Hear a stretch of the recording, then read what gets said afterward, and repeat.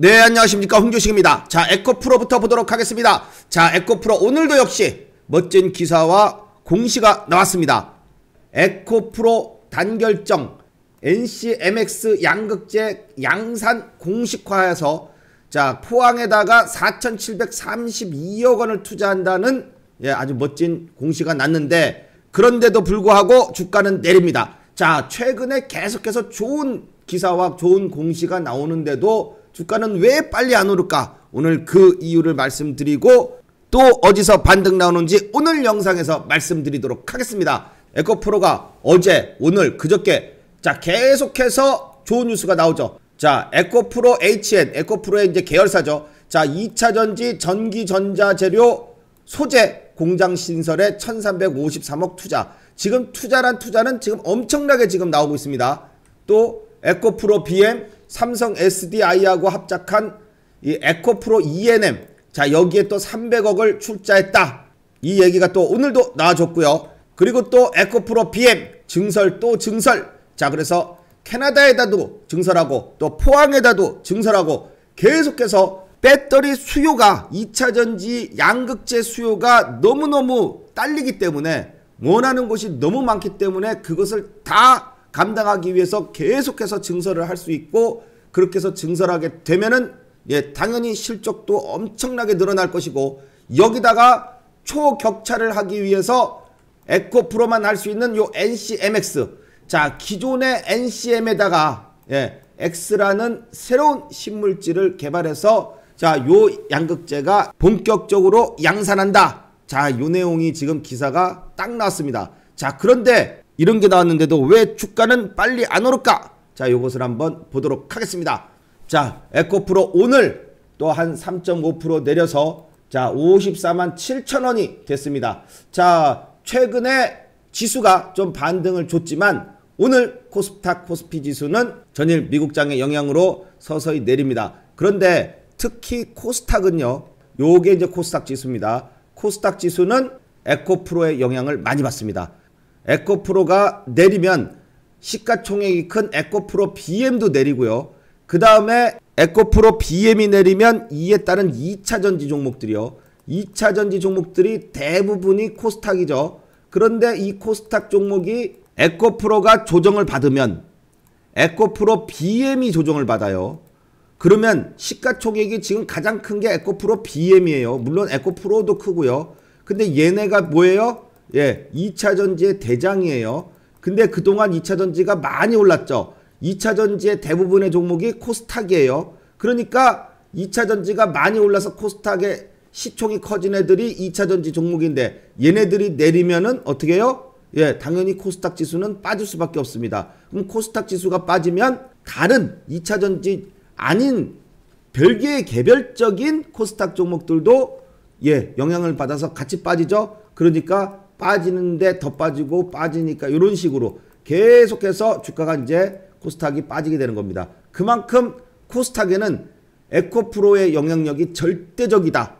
코스피가 코스피가 삼성전자의 영향력이 절대적인 것처럼 지금 코스닥은요. 지금 코스닥은 2차 전지, 특히 에코프로의 움직임이 굉장히 큰 영향을 주고 있다. 이겁니다. 그래서 에코프로가 거래량이 이렇게 지금 거래량이 별로 없이 그동안에 있는 거래량보다도 상당히 줄어든 상태에서 예, 에코프로가 시작한 이래 최고로 줄, 거래량이 지금 줄어든 상태예요. 이런 상태에서도 영향력이 세다 이거예요. 자, 그런데 자, 여기서 핵심은 이겁니다. 2차 전지의 시작점을 스타트를 알렸던 게 바로 요 첫 번째 노란띠입니다. 예. 자, 이 노란띠가 나오면 강력한 세력의 입성을 뜻하는 거예요. 그래서 여기서부터 이제 쭉 올라갔어요. 올라갔다가 올라갈 동안에 주가가 올라가는 동안에는 계속해서 어떻게 해요? 계속해서 거래량이 폭발적으로 늘어나고요. 그 다음에 주가가 쭉 떨어진다. 그러면은 예, 거래량도 떨어지고 그 다음에 또 이렇게 막 오를 때는 거래량이 올라요. 자 그리고 나서 쭉 거래량이 떨어지죠. 그러니까 주가도 같이 쭉 하고 밀립니다. 자 그런데 주가가 어느 정도까지 내려온 다음에 거래량은 계속 줄어드는 상태지만 주가가 더 이상 밀리지 않고 버팁니다. 요렇게 버티는 현상이 나오게 되면은 요게 바로 거래량 divergence가 나오는 거고요. 거래량 divergence. 자, divergence라는 것은 서로 반대적인 얘기예요. 하나는 줄어드는데 같이 줄어드는 것은 divergence가 아니고 하나가 줄어드는데 다른 하나는 줄어들다가 말고 더 이상 안 줄어들고 딱 버텨. 예. 근데 얘는 계속해서 줄어들어. 그러면 뭐예요? 어, 같이 가다가 같이 안 가네? 서로 같이 안 가는 게 괴리 현상이라고 불러요. 괴리 현상. 그게 영어로 divergence예요. 그래서 divergence가 나오면 그 다음에는 주가가 반등이 나옵니다. 자, 그러면 요 주가가 더 이상 밀리지 않고 횡보를 해줘야지만 네, 된다는 얘기인데 그렇게 하기 위해서는 거래량이 줄어들어야 되고요. 자, 지금 그 다음에 거래량이 줄어들면 뭐가 어떻게 되냐면 바로 주가의 움직이는 폭이 작아집니다. 즉 단봉이 됩니다. 자, 주가가 거래량이 빵빵 터질 때는 양봉이건 음봉이건 상관없어요. 봉의 길이가 길기만 하면 돼. 쭉쭉 뻗어가지고 쭉 이렇게 길고 음봉으로 떨어질 때도 쭉 떨어지고 이런 식으로 길게 되면은 요것은 가장 거래량이 활발했을 때 주가의 탄력성이 셌을 때인데요.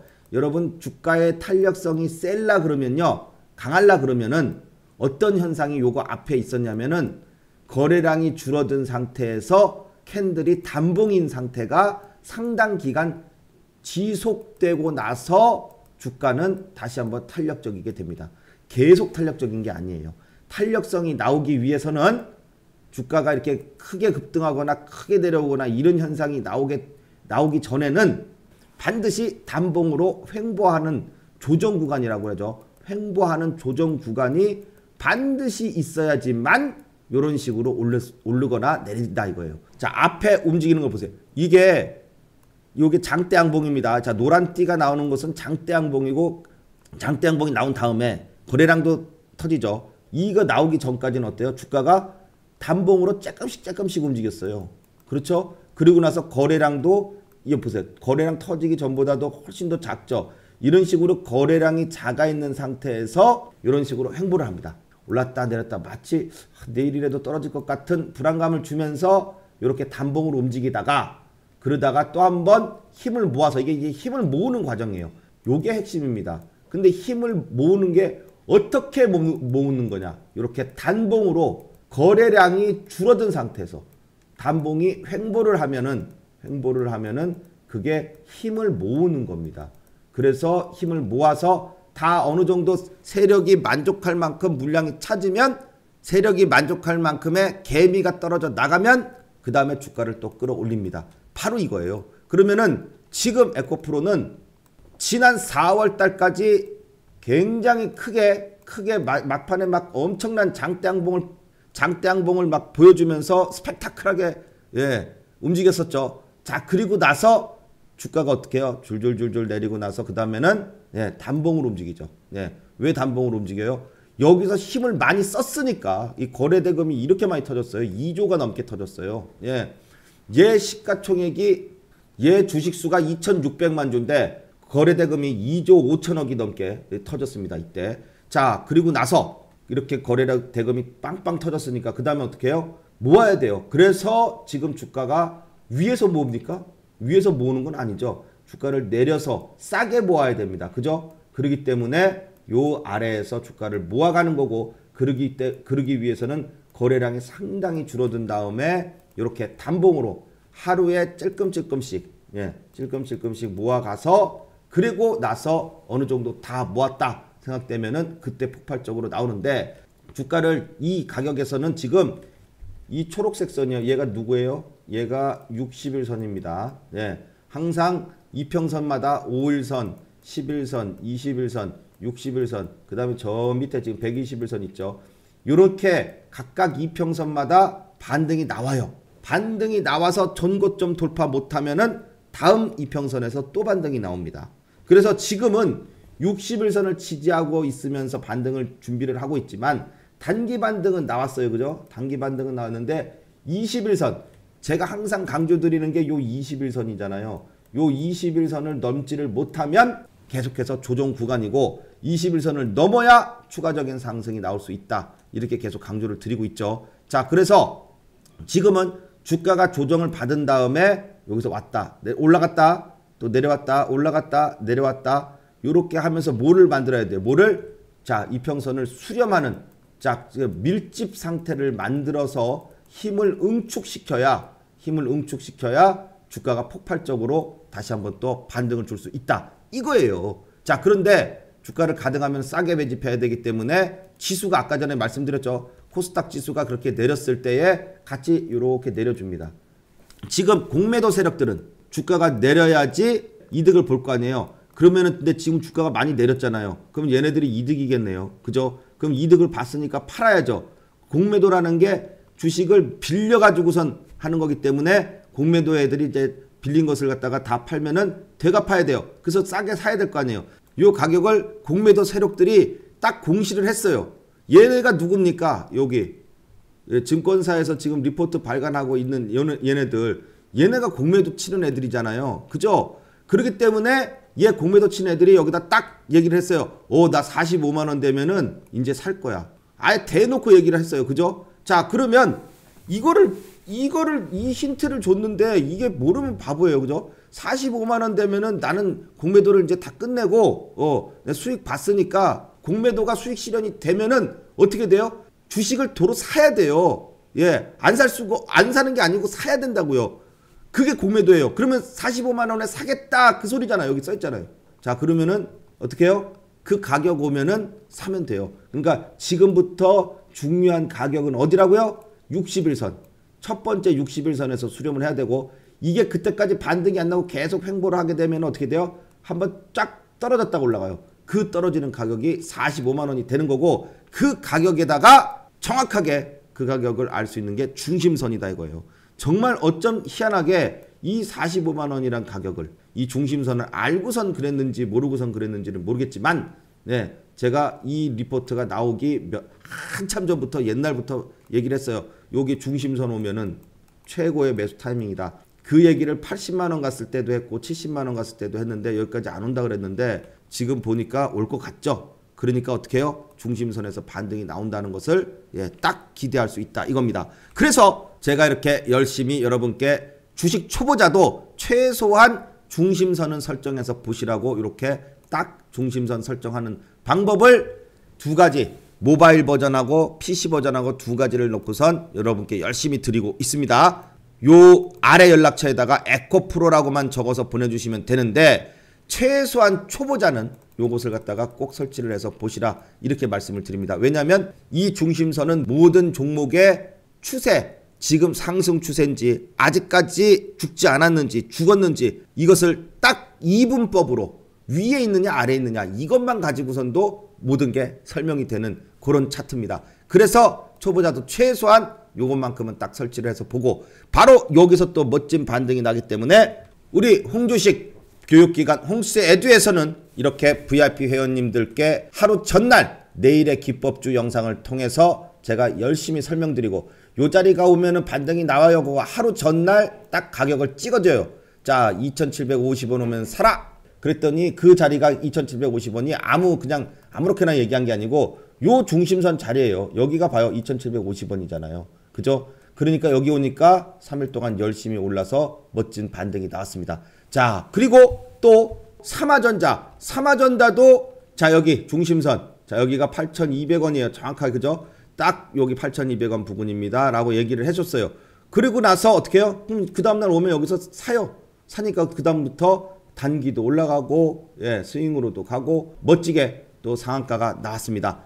자, 그리고 또 미래생명자원이요. 자, 미래생명자원도 바로, 바로 이런 자리죠. 자, 요렇게 중심선 자리요. 자, 여기가 얼마예요? 5,680원이에요. 딱 봐봐요. 예.